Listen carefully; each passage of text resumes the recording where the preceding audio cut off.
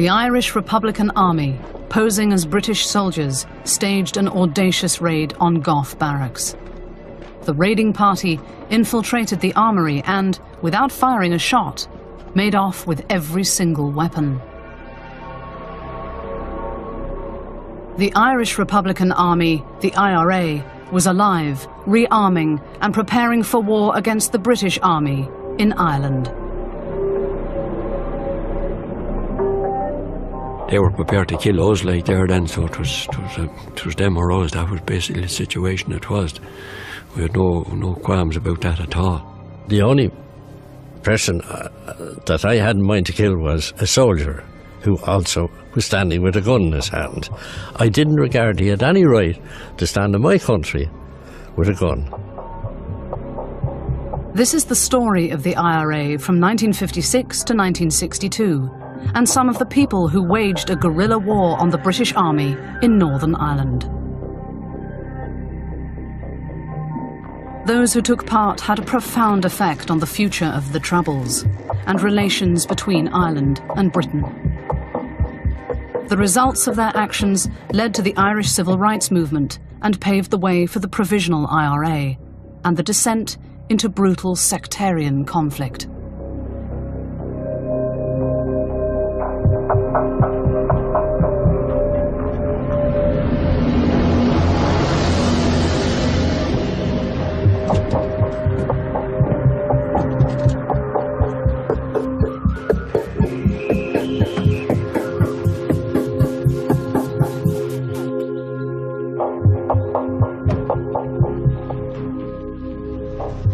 Decades after independence and partition, the north and south of Ireland coexisted in stark contrast to one another. The border, separating the six counties of Ulster from the rest of Ireland, was a constant reminder of the ever-widening gap between the communities it divided.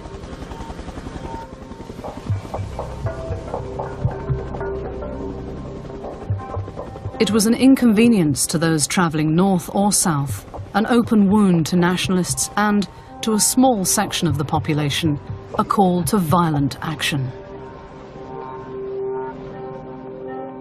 I joined the IRA about 1950, and I joined it because the British Army was occupying six of our counties. And uh, I always believed that they should not be there and that I also believe that the only way to put him out was by an armed and military campaign.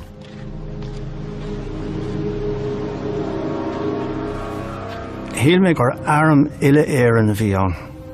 agus bhí siad in áréire féin cogad ar féin cheangal le brise le sasan. Aithna gom measc agus agus gom festa agus. We felt we could make change, yeah. And um, the change we wanted to make essentially was to get the British out of Northern Ireland. And on that happy day, everything would be well with the world. It was as simple as that for most people.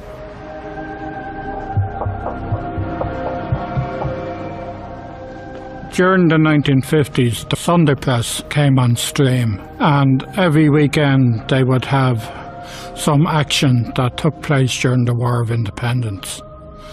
And as a young lad, 14, 15 year old, I was sorry that I wasn't around in those days to take part in these actions. The official ideology of the southern state was nationalist, Catholic and Republican. The constitution laid explicit claim to the north. In this context, partition was widely regarded as an enduring evil of British colonialism. The uprising of 1916 was an assertion in arms of the right of the Irish people to be free. Freedom has been secured now over more than five-sixths of the national territory. We confidently hope this will not be long until the whole country is united. As the rest of the world moved towards the Cold War, Irish politicians campaigned against partition, lobbying intensively around the world, but especially in America, home to over a million Irish-born emigrants.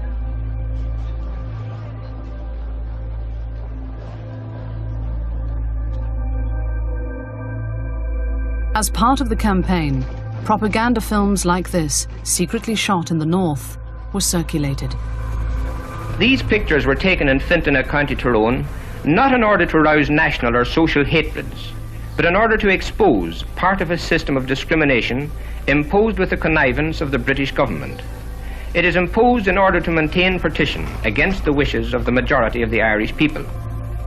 Mr. Campbell of Mill Street and some of his children Eight people live here. Mrs. Mullen of Mill Street has eight children, all living here. Big families and little houses are normal in these back streets of Fintona. Two thirds of the people of this little town are nationalists.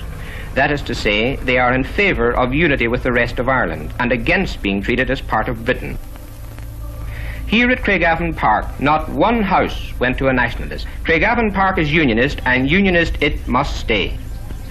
Only an informed public opinion can destroy the structure of injustice which here in Fintona and throughout the partition territory sustains the unnatural division of Ireland.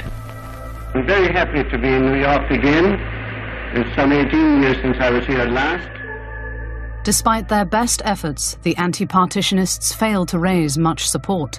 America, while sympathetic, was unwilling to offend its NATO ally Britain, especially at the behest of a country that had absented itself from the Second World War. With this diplomatic channel closed, the Irish government was left with little but empty rhetoric. Into the vacuum left by the politicians stepped the IRA. All that came out of the anti-partition campaign was that it was a failure, and if you like, it was a further justification to the IRA for armed action, in that this effort, which had been backed by the government and the whole society really, had achieved nothing. Both the Irish Republican Army and the Southern Irish government shared one goal the establishment of an all Ireland state. They both saw themselves as the inheritors of a violent struggle for independence from Britain that had begun in 1916. But the IRA had long been declared an illegal organisation because of their opposition to the state and their commitment to achieving a united Ireland through physical force. Leanúnt leiiciúil a bhí an uh, go raibh gach iirecht dá dhéine uh, go bunrachtúil agus go politúil chun é seo. A leias ach go raibh rialtas hasna rá stop Tá an Jordanán tá muidne ag gceannas na sé chunda agus fanmuid mar sin. The IRA underestimated the extent of unionist aversion to Dublin rule. In fact, like most Southerners, the volunteers knew virtually nothing about unionists or unionism. Ní ra mise riamhs na sé chun dé agus nar túm gom cés éis áit a bhí an in éair. Sto gur hélamar gur sééis bhile a bhí timppel an áit. So nar a cumarrán ar dós bhíing dul ar únsaí th teran in eiceile ina scéan. Agus bhí ar an agus ní gom. The only unionists we were conscious of were those wearing bottle green uniforms and carrying pistols, and uh, the British Army uh, in Northern Ireland and uh, the B-men. But we weren't really conscious of the unionist people at all, and we didn't know any of them. I certainly knew none of them. The Royal Ulster Constabulary, a quasi-military police force of 2,800 well-armed, well-resourced local men, had over the years amassed considerable intelligence on the nationalist community. Backing up the RUC were the B Specials, over 12,500 armed reservists. Untrained and much more openly sectarian than the police, they were responsible for the deaths of many Republican sympathizers during the sectarian conflict of 1921. Thirty years on, they were still widely feared by the Catholic population.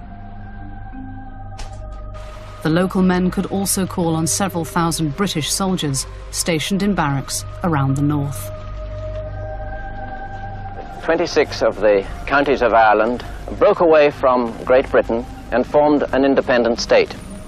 We in the north of Ireland, with a population of one and a half million people, decided by an overwhelming majority at a great national general election that we would remain within the United Kingdom. We made that decision as a people quite freely and for very definite reasons, reasons that are historical, reasons that are cultural, and reasons that are economic. Áras grú storm dansa le chur hiú leis. sé an rud a bhí ón agus si tá se millsinach an dearcú céim chuga poblbla. Gurirt príú éire Craig Avan a bhí a stíon sinna for blindí fada that we are a Protestant parliament for Protestant people agus bhí goúir catslícha ón agus sin másla a bhí an.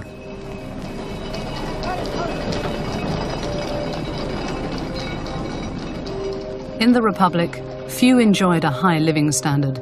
Many were unemployed. Hundreds emigrated every week.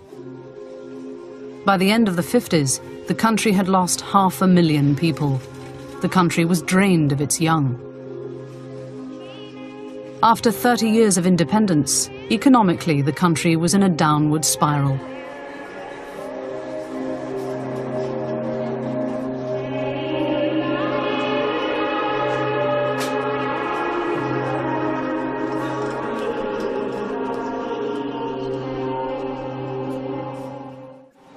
In 1952, hundreds of IRA volunteers attended the annual Republican commemoration at the grave of Republican martyr Wolfe Tone, the green shoots of a freshly motivated organisation. Responsibility for this revival was down to three leading Republicans Tony Magan, Thomas McCurtain, and Paddy McLogan. From the IRA's Dublin HQ, the seven man Army Council controlled the small but unified IRA movement north and south of the border. Bhí an measa gom an bhirrtaá. Sílim agus uh, níor éintigh sí le rudí beaga nith beaga. Bhí si ddíirthe ar an rud mór éire éantathe agus ní bhain ámaá le pleiciíocht na anrod mar sin. The three Macs were conservative IRA veterans who were deeply attached to the nationalist ideals of the War of Independence era. For them, the IRA would be a disciplined army of morally upright volunteers guided by the single minded pursuit of a united Ireland by force.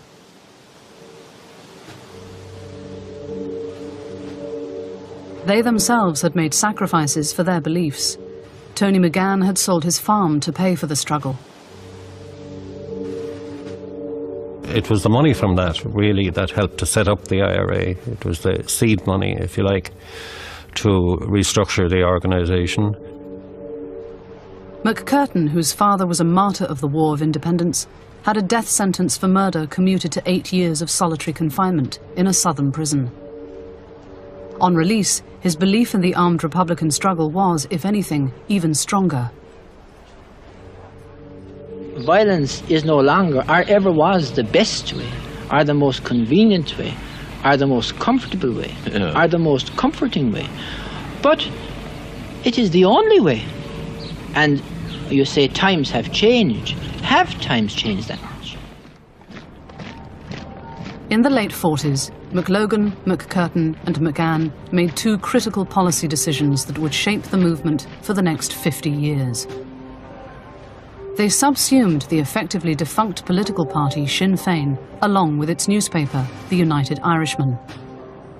From now on, this would be the mouthpiece through which the IRA would impart its message to the nation. No, we never looked beyond what might happen on the political line. Sinn Féin could deal with that. We had very little to do with Sinn Féin. I was never at a Sinn Féin meeting. Most of those I knew didn't, if you like, have much time for Sinn Féin.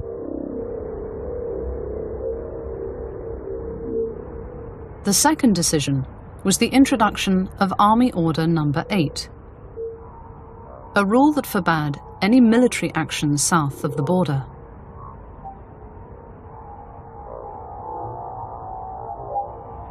From now on, all energies were to be devoted to a military campaign against the north of Ireland. ending partition would be the IRA's raison d'etre. This was a, a, tremendous change for the IRA. It focused everything on the north of Ireland. It gave us a great freedom, there's no doubt about that. I mean, I think everybody was very happy that we weren't shooting at people in the south of Ireland. And um, I think it was a, a very wise move at the time.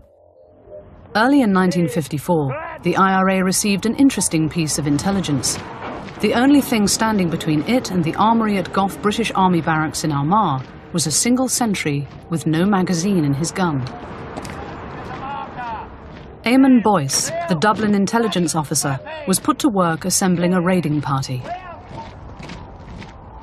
Personally, I went up for six successive weeks and observed the barracks from various vantage points, and we obtained a fair bit of knowledge about the, the setup and then Charlie Murphy suggested if we could get a man in, into the British Army.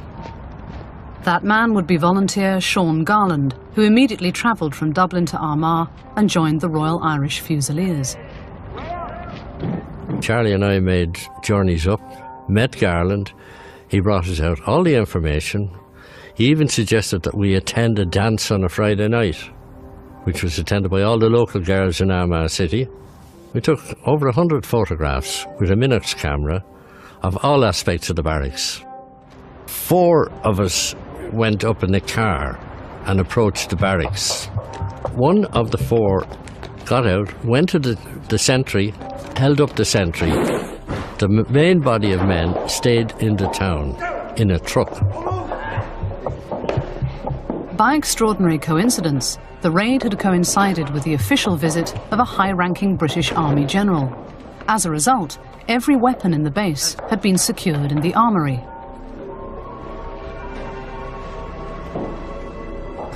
And due to the filming which had been done earlier, they knew exactly where to go, opened the armoury and held up those in the armoury. With the guard overpowered, the truck containing the rest of the team, dressed in a motley assortment of British Army surplus, purchased in a shop in Dublin, was ushered into the base by an IRA volunteer.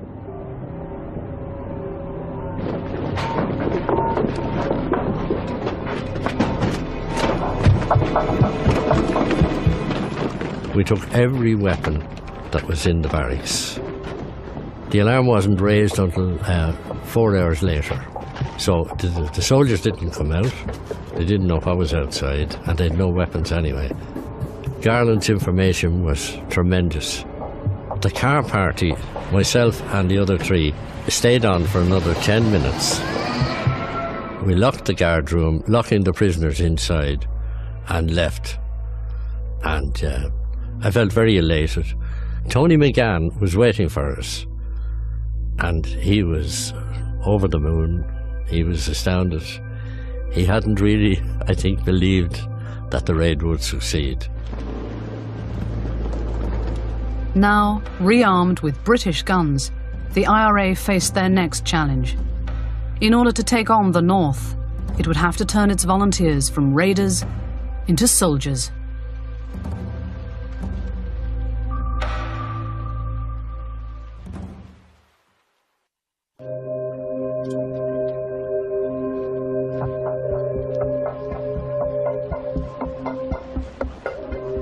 At the annual Republican parade, just days after the raid on Gough Barracks, the IRA issued a statement. Let there be no doubt in the mind of any man or woman in Ireland on this matter. These arms were captured by Republican forces for use against the British occupation forces still in Ireland, and they will be used against them, please God, in due course.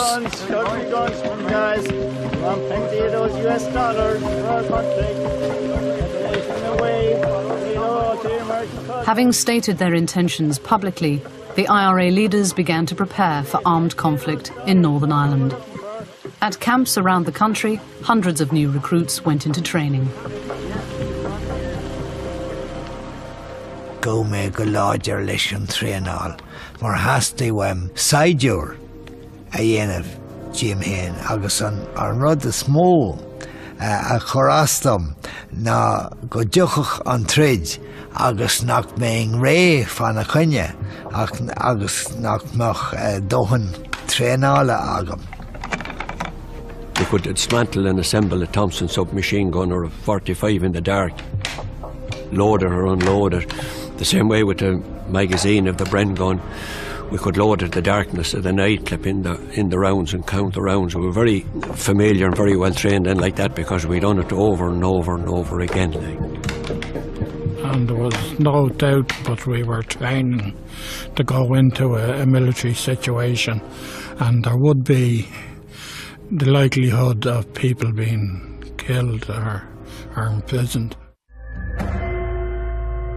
The IRA felt that they had the sympathy of the Dublin government and police who were prepared to turn a blind eye, so long as they were no threat to the state in the south.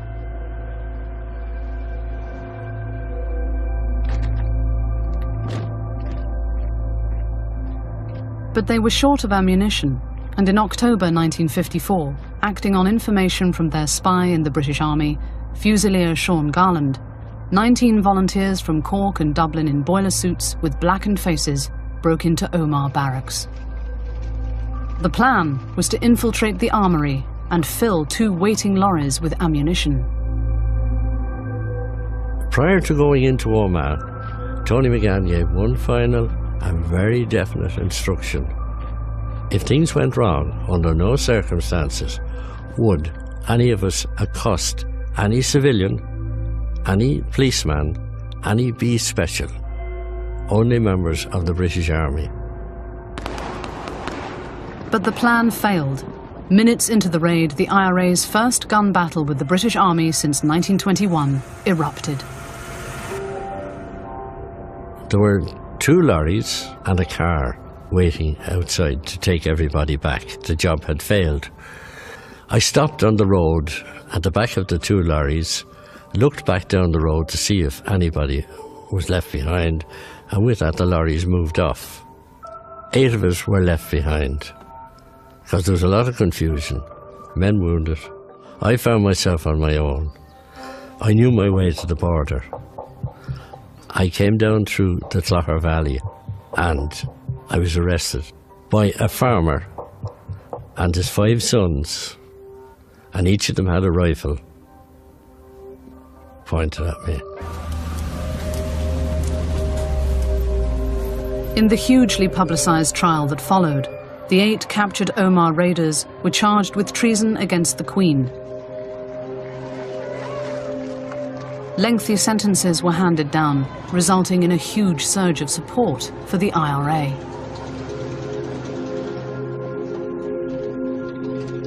Due to the fact that the authorities charged us with treason, uh, it gave us a platform to preach, if you like, the Republican gospel. I think the British made a mistake in giving us that platform because, as I said, it was subsequent to that that this huge influx came into the IRA.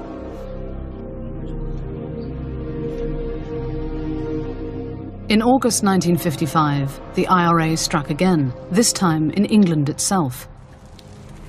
A raiding party headed by Rory Ó Brádaigh infiltrated Arborfield Barracks in Berkshire.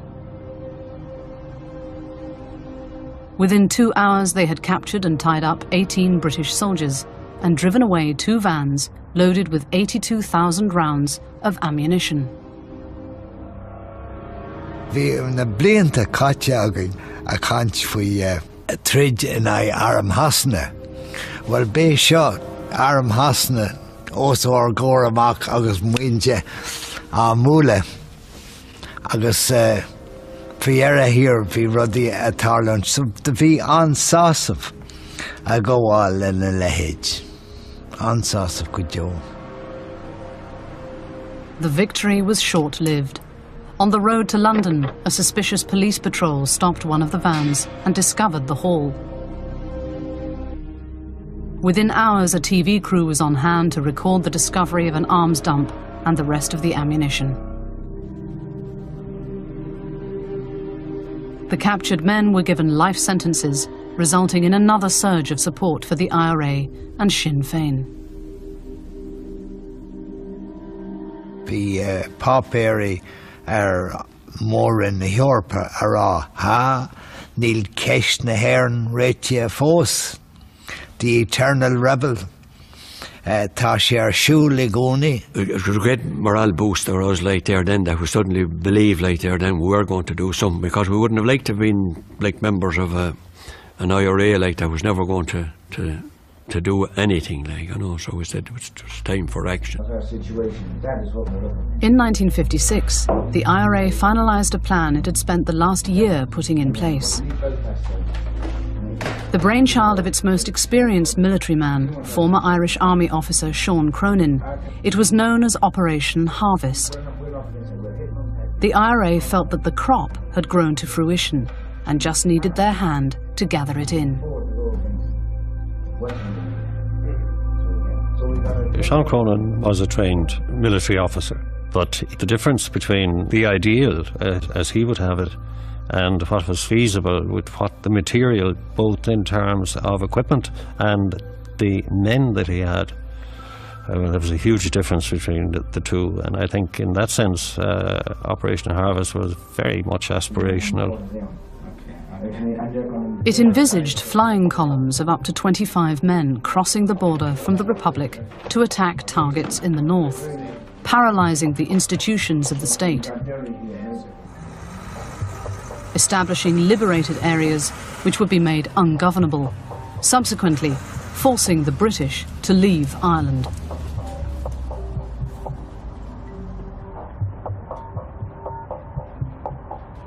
Volunteers left their jobs and homes and mobilised. GHQ relocated from Dublin to the border, and four IRA columns crossed into the north, armed with rifles, pistols, machine guns, and explosives. Operation Harvest was what became known as the border campaign. It's what most IRA volunteers wanted and were looking for, and were happy when I did start.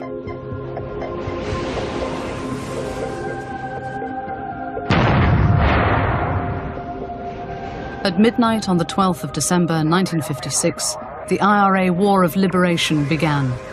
By dawn, the threat it posed was clear. Throughout the night, the province had been rocked by explosions. Police barracks had been bombed and sprayed with bullets. Bridges, courthouses, and even the BBC radio transmitter at Derry had been destroyed. The governments north and south had been taken totally by surprise, as had the Northern IRA, some of whom only found out about the operation the next day, when they were picked up by the RUC. Having arrested all known activists, Stormont moved quickly to introduce internment. Oh, heave Operation Harvest. Thula muid amra beer Operation Harvest. Dtí béidir ní nolag harfa dé cu sé. agus an sin bhí suganne grú an rud chu a bheith ré le chor rubber, but uh, híh details ní ó féin marinne fisahé a ginne. The IRA's enemy was Britain and the British Army, but the reality on the ground was that their main adversary was the local RUC and B Special militiamen. Not only were the IRA in hostile territory, they were up against an enemy with superior communications and local knowledge. On the night of the 30th of December 1956, 19 days into the operation, two flying columns attacked Derrylin RUC barracks, deploying mines, grenades, machine guns, and rifles. In command of one of the columns was Rory Ó Brádaigh. Ní éiriding an barrica goháil cúmar gar go leor go, hí teornje de nóméid le onsaí a dhéana ar barric. Agus in dhé sin manamach se gafa nóméid sin fiaring imimecht.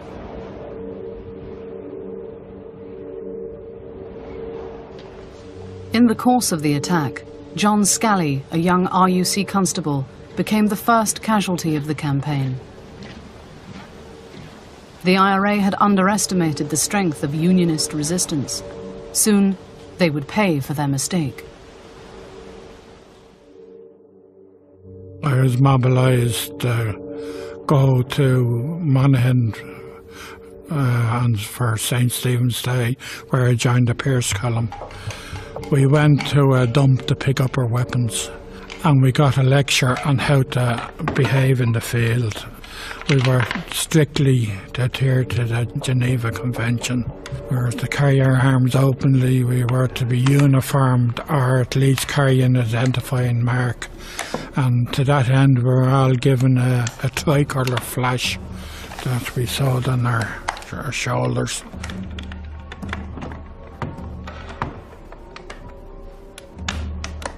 The day after the Derrylin attack, the Pearse flying column drove a hijacked truck towards the RUC barracks at Brookeborough, close to the home of Northern Prime Minister Sir Basil Brooke. As they approached their target, darkness fell. The truck pulled up in the wrong spot. One possibility is they didn't know exactly which building was the barracks. Another possibility is there was children playing on the road. Possibly to avoid the children, they pulled up on the opposite side of the road, away from the children.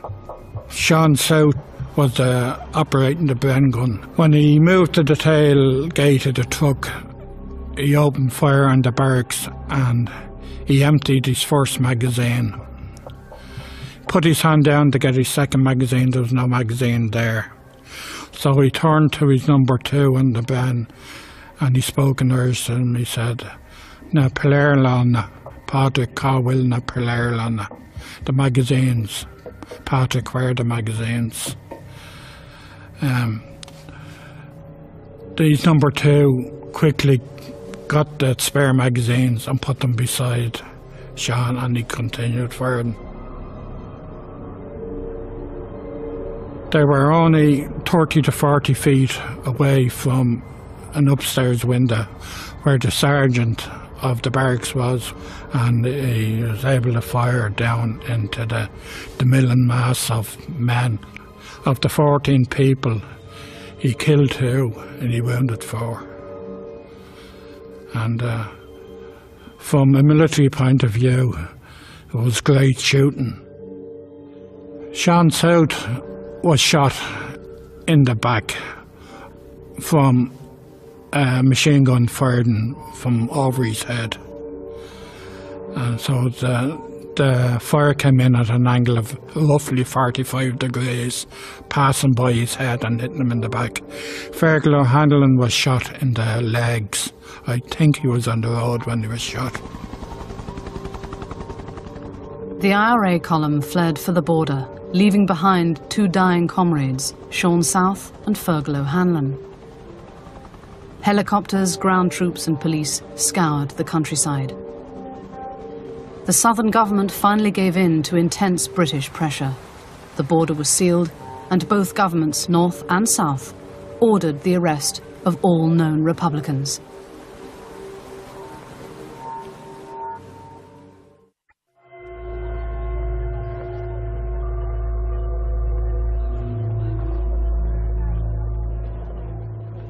The attack on Brookeborough RUC barracks showed both the strength and weakness of the IRA. Poor intelligence and blundering tactics may have resulted in a disaster. But quick to rebrand defeat as martyrdom, the Republican movement had once again achieved a resounding emotional victory. In January 1957, at the funeral of Sean South, 50,000 people lined the streets of Limerick you'd stand by your comrade like through thick and thin, and you would not. No way would you would you desert him like what he went through. You were prepared to go through. You felt that solidarity and comradeship like there. Then you know, we felt for our comrades that had gone before us, like they was doing long prison sentences. We felt we owed it to them to um, make a success of our campaign because we believed at the time, like there then, you know, maybe we were young, and naive, that the best way of getting them out of jail was to be successful in what we were out to do, and that was to bring an end to partition and to unite, uh, that the country could unite.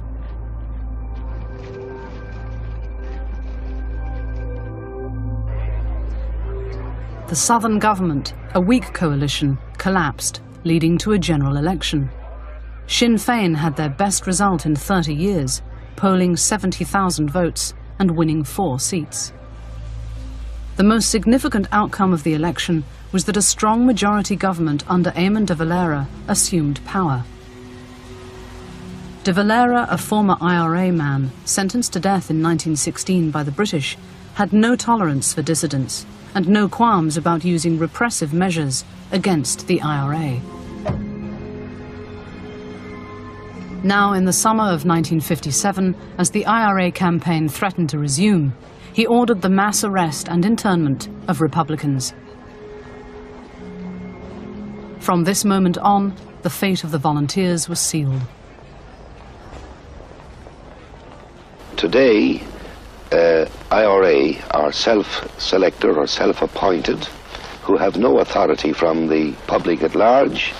In our time, we were fighting an alien authority. Today, these people are fighting Irishmen, and we want to avoid any further possibility of strife or civil war between Irish, whether they're below the border or above the border. Within days, 168 IRA volunteers and supporters were consigned to Curragh internment camp. Among them, Magan, McCurtain, and McLogan.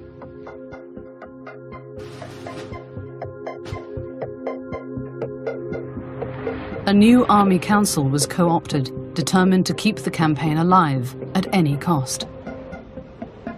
We're called up then about the end of August then in 57. I often remember like watching, lying in wait like all night like there then recording the times. And we'd have everything in place then and we decided then to set up an ambush for it. And uh, we'd uh, assemble the, the bomb that we were going to use in the, in the ambush and get the volunteers together and draw up a plan and go ahead. And all of a sudden, late there, then when we go, the night we'd be ready to go hit it, there'd be no patrol had come at all.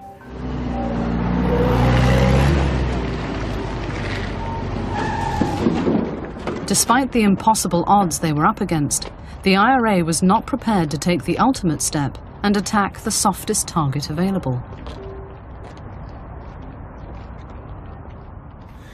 Bhí me dinne a rihannáma a ggéad chur den fríd an dóin an dóir sé áginine nach cágu creide bhí an a cágu an éan ach go patient an tír. agus na acha péirs a bhíón ar an na sasan.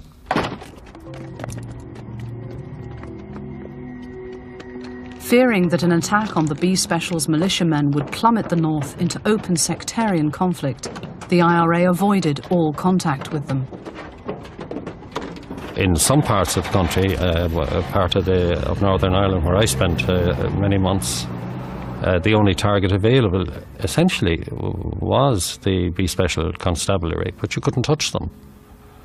And equally, uh, Belfast was excluded from any activity because of a fear of pogroms, uh, which uh, I think was a legitimate fear. But if you're engaging in a, in a war, you know, uh, you either give it everything you've got, or you, you, you know you should you should leave the game really. With strong governments north and south and little public support for violence, it was becoming more difficult.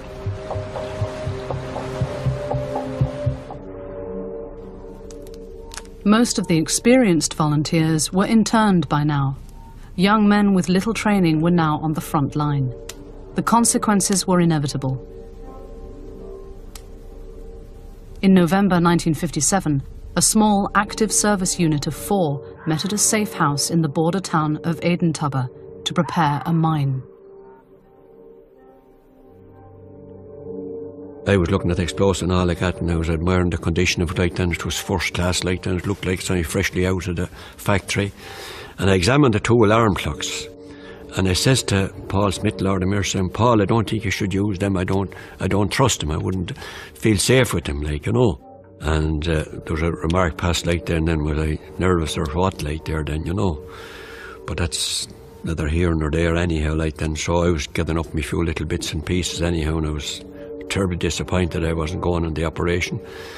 And uh, um, I was saying, just saying good night to the lads and wishing them safe trip and all.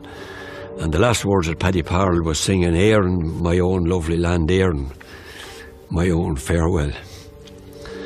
They were the last words Paddy said to me and I going out the door. And sure, that night later on, then we heard the blast like there then, you know.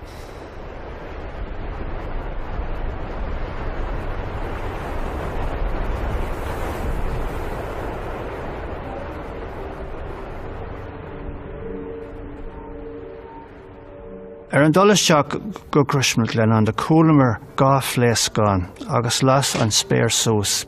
Formar mac go bhí cuaigur marmh agus bertaá óla garman, má cáde héan padre go paráil. Wahí mé cruas i arí ag an an lá sin. Bhí ferreg mór ar an taréis an rud a hála, ach bhí me dainean i me intena uh, leanúnta raig leis an trid. Edentubber was the worst single disaster of the campaign. While crowds grieved for the dead, there was a clear sense with the general public that the victims had given up their lives for nothing. We had no way at that time of harnessing uh, the public except by doing things and expecting them to uh, support us from a standing start to start a, a guerrilla war, if you like, or guerrilla activity at least in, in Northern Ireland and expect the people unhesitatingly to accept it. It was too big a leap and it didn't happen. We hadn't the right to expect it, really. I think the ordinary man in the street in the north wasn't interested at the time. They, were, they saw it as a, something from the south of Ireland that was imposing on the north.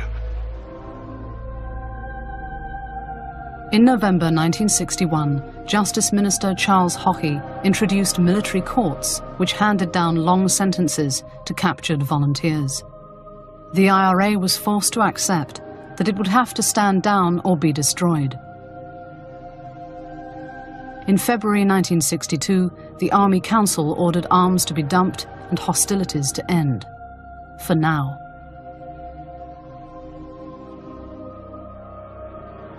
Bhí saging ag an am sin gorómuid i láthair na stare, hí an tarm le chéile hí na harm sláán agin agus mar sinide agus bhí agin in ar nintin.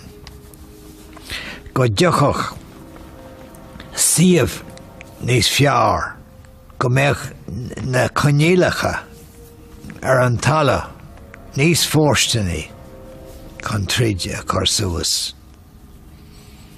Agus is álaí a hála inéan na dála.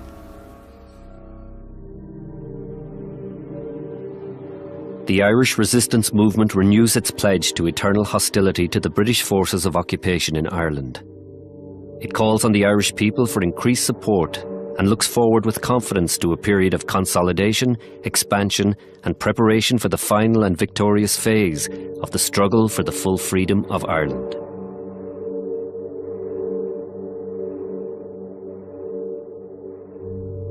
After five years of sporadic attacks, ambushes, and bombings, the IRA had killed six RUC men and lost eight volunteers, most of them in accidents. Militarily, the IRA had been defeated. But by failing to address the root cause of the IRA campaign, London, Dublin, and Stormont had merely dealt superficially with the beginnings of a devastating movement. We had too many morals. As I said before, we couldn't win a war. We had too many scruples. Terrible things happened in the, in the 70s and 80s. Awful things happened that no way could I, or I suppose anybody else, condone. But I do understand. I do understand why they happened. I, I personally, I couldn't have anything to do with them or approve in any kind of way, but I do understand exactly why they happened. If I were asked the question, uh, all that has happened in the last 30 years, uh, since 1969 uh, to now, has it been worth it? I'd have to say no, it hasn't. I don't think so. I think too many people died. Too many people died needlessly. Uh, there were too many innocent people killed in the in the, in the whole uh, struggle, and it's very hard to justify it in terms of what has been now achieved. I think people are more realistic now, and they are, I think, generally speaking, prepared to settle for less than we would have settled for in our time, or an earlier generation would have settled for either. It's been a very painful, very sore learning experience for the whole society, North and South, particularly for the North.